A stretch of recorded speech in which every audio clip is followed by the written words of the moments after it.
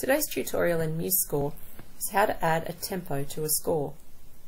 You see I have a short 8 bar melody here and we're going to add a tempo and I'm going to show you four different ways to do it. So to begin with we're going to use the menu. Across the top of your screen we go to add text and you scroll all the way to the bottom to add a tempo marking. You'll see at the same time the keyboard shortcut is Alt and Shift and the letter T. So let's click here. You will expect a prompt.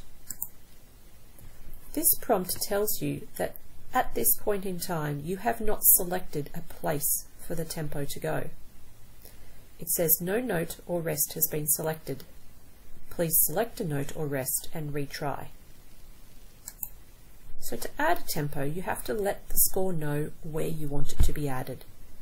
And our tempo, as usual, goes at the beginning above bar 1. So this is where we're going to place it. So we select our very first note. And then just by clicking on it, then we go Add, Text, Tempo Marking. And you'll see there that we've been given a metronome marking. You can also add tempo in here.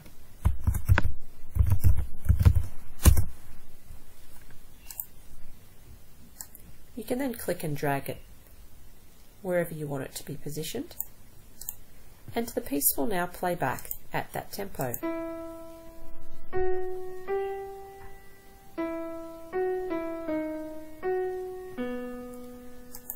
So what I'm going to do now is to delete that so we can have a look at a different way to add a tempo. We saw the keyboard shortcut before was using Shift, Alt and T. Again, when you just click those without selecting a note first, you'll be given the prompt box. So again, we select Shift, Alt, T, and we come up with the same type a different word in here and let's hear what this sounds like.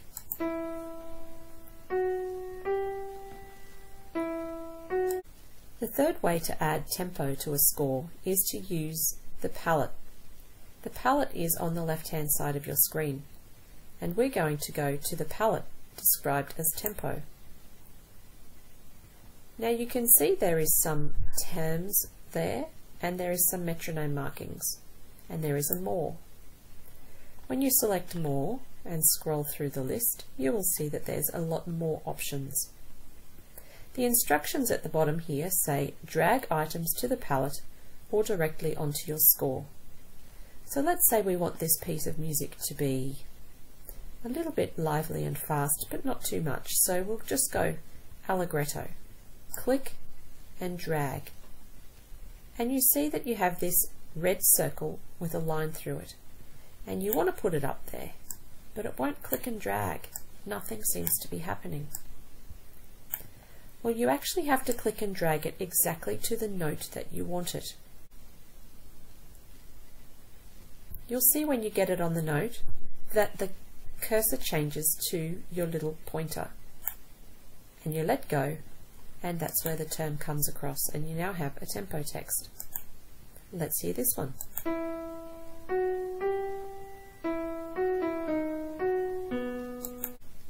That's a much better speed for this particular piece of music. Let's see that again. Okay, tempo text, more. Let's go for vivace, which is quite fast.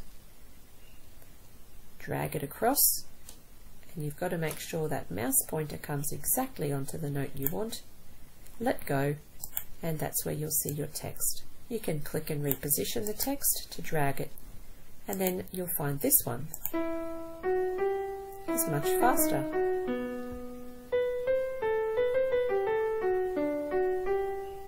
The final way to add is to still use our palette but we need to select a note first. So we select our note by clicking on it And then you go over to your palette and you find the term you want and this time you double click it and it appears. No dragging required but you do have to have your note selected first. So if we wanted it to start slow and change tempo later, when the key changes at the end here back into out of the minor key into the major key, we might want it to be faster. So you can again select a note and double click. And this is what that might sound like.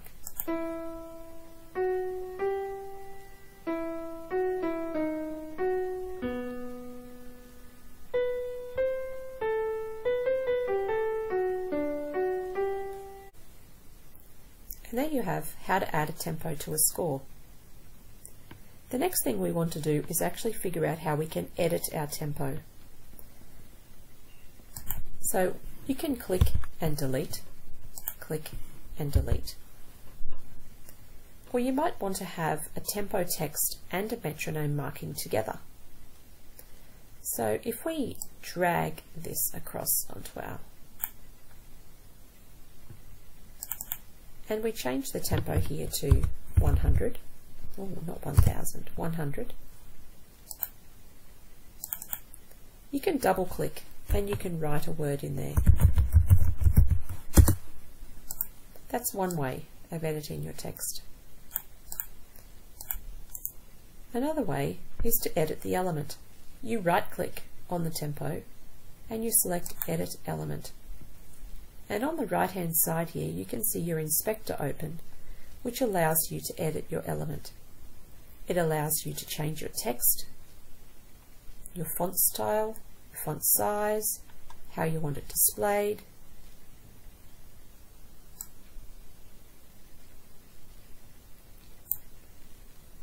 whether you want the tempo to follow the text that's written or whether you want it to be above or below the stave all of those options are available in the inspector for later if you want to edit.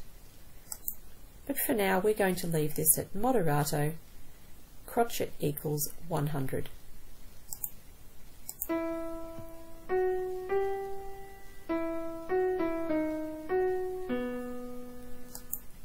And there you have how to add tempo to your score. Make sure you save before you close.